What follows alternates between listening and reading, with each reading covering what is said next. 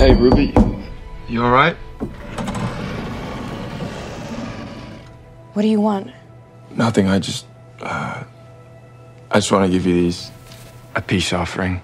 Oh, are they yours? Yeah, no, I have a couple extra pairs, and uh, you don't.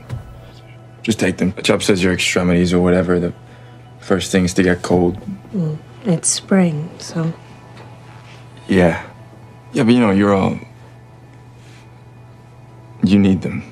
This way you won't die. Oh, God. Ruby, just take the damn socks and put him out of his misery. Shut up, Chubb. You got away with the ladies, Liam.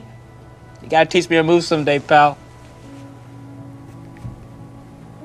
I'm just gonna leave him there. Yeah, okay. Yeah. Hey, Liam. Yes. Thank you.